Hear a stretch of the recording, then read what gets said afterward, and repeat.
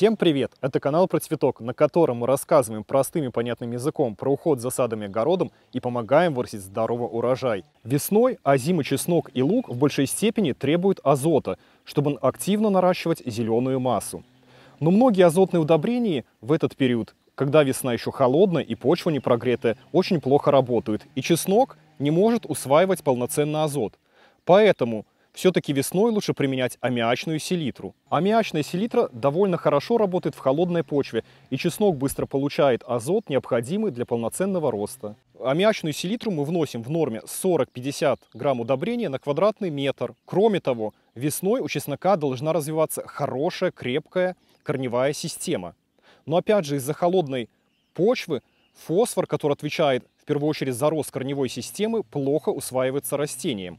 Поэтому, чтобы активизировать вот это усвоение фосфора и улучшить азотное питание, будем использовать сульфат магния. В нем содержится сера, которая поможет усвоению азота, и магний, который поможет усвоению фосфора. И в итоге даже в такой холодной почве чеснок будет хорошо развиваться. Норма внесения сульфата магния 20 грамм на метр квадратный. Заделывать ничего не нужно в почву. Удобрения растворятся на влажной почве и впитаются в нее. Чеснок будет нормально развиваться. Если в вашем регионе весна ранняя и теплая, и почва уже подсохла, то с удобрениями нужно быть аккуратным. Во-первых, в начале, если почва просохла, ее нужно пролить, а только затем вносить сухие удобрения. И обязательно заделать их в почву, чтобы весь азот не улетучился. Можно приготовить, в принципе, и водные растворы удобрений. Если вы используете ту же аммиачную селитру, тогда возьмите 40 грамм удобрения на 10 литров воды и вот таким вот водным раствором подкормите чеснок. То же самое касается и сульфата магния. Эти оба вида удобрений можно использовать одновременно, а можно сделать интервал примерно 7-10 дней. А теперь хочу рассказать про яровой летний чеснок. Многие огородники жалуются, что летний чеснок вырастает очень мелким и вовсе отказываются от его посадки. А зря, ведь этот чеснок может храниться целый год, вплоть до нового урожая. И если правильно подготовить почву, то урожай обязательно порадует, и луковицы чеснока вырастут довольно крупными. Хочу поделиться с вами своим опытом выращивания летнего чеснока.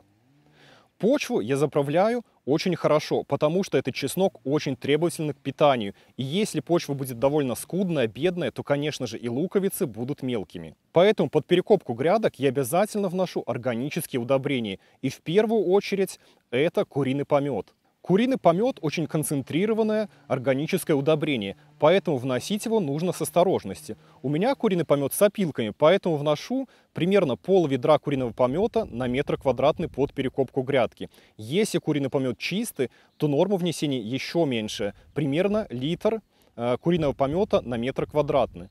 Грядку аккуратно перекапываю, рыхлю и делаю бороздки для посадки. А затем в эти бороздки добавляю золу Зола раскисляет почву, а также в ней содержится очень много микроэлементов, есть фосфор и калий, которые так необходимы чесноку. К посадке летнего чеснока нужно приступить в самые ранние сроки, как только отпустит землю и она немножечко просохнет. Чем раньше вы посадите летний чеснок, тем лучше будет урожай. Когда грядка подготовлена, приступаю к посадке. Делаю рядки, между ними расстояние примерно 30 сантиметров. И затем высаживаю зубчики, между зубцами примерно 5-7 сантиметров. Засыпаю их почвой, и грядка готова. Больше никаких подкормок за сезон не делаю. В хорошей заправленной почве чеснок развивается полноценно и дает отличный урожай. А, еще про лук. Я же лук... А, не просто озимый чеснок. Лук. Я же вначале про лук сказал. Еще про лук. Угу. Осенью многие огородники высаживают лук под зиму. Я также его высаживаю. Мне этот способ посадки очень нравится. Луковицы всегда вырастают очень крупными и хорошо хранятся. Лук весной также нужно подкормить азотным удобрением, чтобы он активно наращивал зеленую массу. Поэтому для подкормки опять же использую аммиачную селитру. Норма подкормки такая же, как и при подкормке озимого чеснока. 40-50 грамм удобрения на квадратный метр. И опять же добавляю сульфат магния, чтобы лучше усваивался азот и лучше усваивался фосфор. Кстати, в прошлом году я был на выставке в Москве и приобрел 8 новых сортов чеснока. И обязательно в сезон покажу, какие получились результаты. Расскажу про характеристики этих сортов, про плюсы и минусы. Обязательно следите за обновлениями на нашем канале, чтобы быть с полезной информацией. Обязательно подкормите озимый чеснок и лук весной и посадите летний чеснок, чтобы потом быть с хорошим урожаем. Спасибо за внимание и до новых встреч! Thank you.